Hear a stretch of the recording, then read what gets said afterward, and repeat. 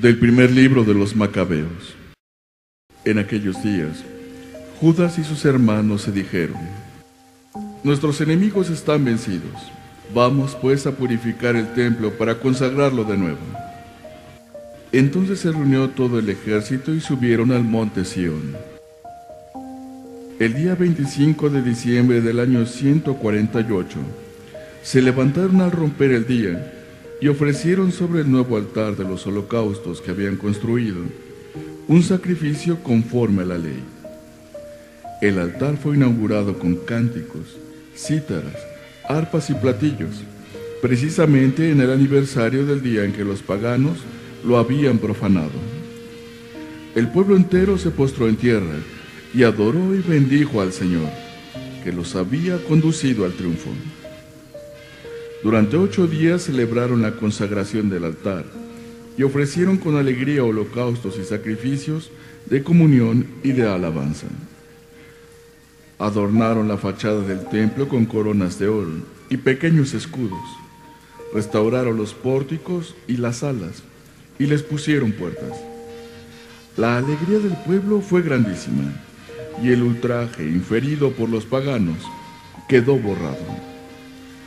Judas, de acuerdo con sus hermanos y con toda la asamblea de Israel, determinó que cada año, a partir del 25 de diciembre, se celebrara durante ocho días, con solemnes festejos, el aniversario de la consagración del altar.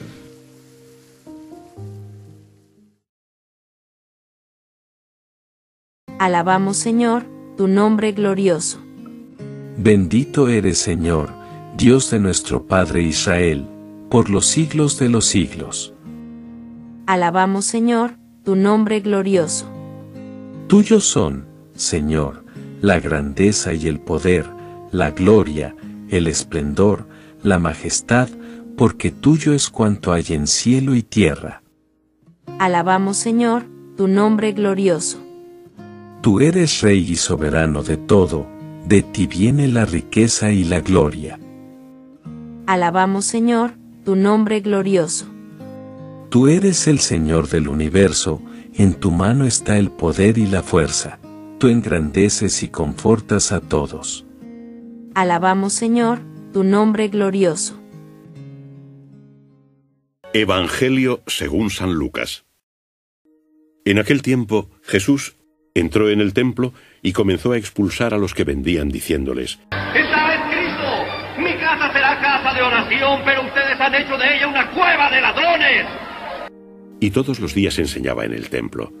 Pero los príncipes de los sacerdotes y los escribas, así como los jefes del pueblo, trataban de acabar con él, pero no sabían qué hacer, pues todo el pueblo le escuchaba ensimismado.